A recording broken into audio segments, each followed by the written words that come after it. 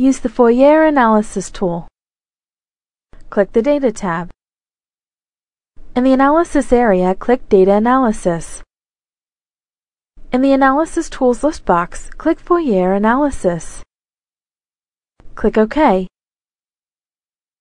In the Input area, enter the cell reference of the data range to be analyzed in the Input Range field. The reference must be a single column or row with a total of range values that is an even power of 2.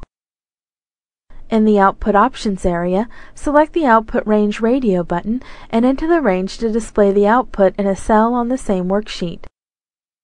Select the New Worksheet Ply Radio button and enter a name for the new worksheet to display the data to a new worksheet. Select the New Workbook Radio button to display the data to a new workbook. If the input range data is transformed, select the inverse checkbox to return the original inputs. Deselect the inverse checkbox to transform the data in the output table. Click OK when finished.